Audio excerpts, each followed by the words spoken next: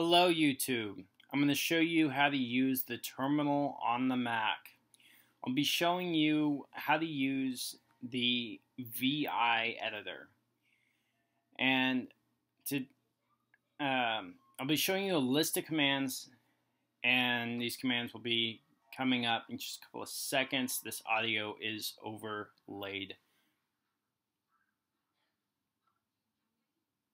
So we have the Q command, which quits the editor and if, if nothing was done. We also have the colon Q exclamation point quits and saves nothing. And we also have the uh, colon WQ and it saves and quits the editor.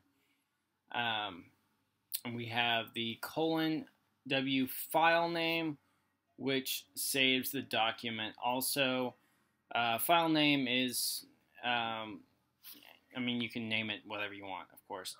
Uh, there's also some other um, some other commands that aren't listed that I will be putting in the description below on YouTube.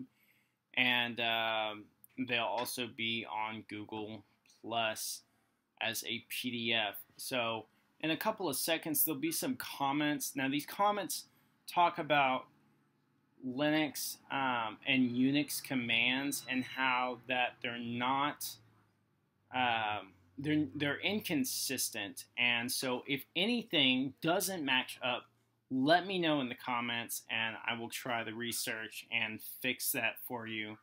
I hope you enjoyed this video. Have fun, YouTube.